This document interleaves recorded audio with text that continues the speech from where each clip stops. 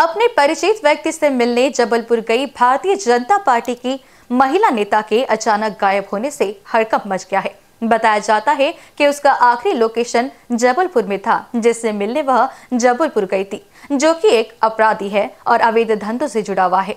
इसलिए इस मामले में किसी अनहोनी की आशंका से इनकार नहीं किया जा सकता। इस मामले को गंभीरता से लेते हुए सीपी अमितेश कुमार ने आला अधिकारियों को जाँच की निगरानी करने और खोज अभियान तेज करने के निर्देश दिए हैं।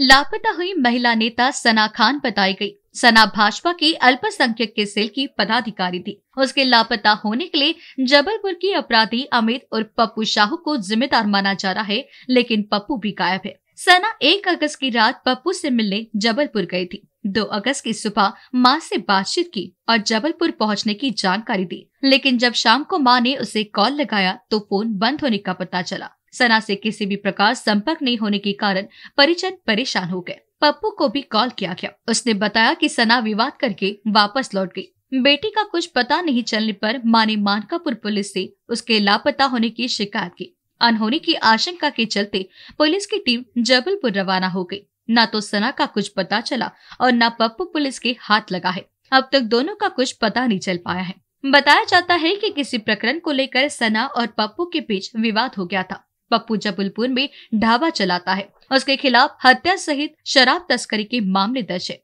लाखों रुपए के लेन देन को लेकर यह विवाद हुआ था। सना खान यांच्या फॅमिलीच्या मेंबरच्या कंप्लेंटवरून तीन तारखेला मानकापूर पोलीस स्टेशनला मिसिंग रजिस्टर आहे. त्यामध्ये आम्ही सदर ह्याच्यामध्ये इन्व्हेस्टिगेशन केलं असता. सदर महिला ही एक तारखेला संध्याकाळी जबलपूरसाठी रवाना झालेली होती.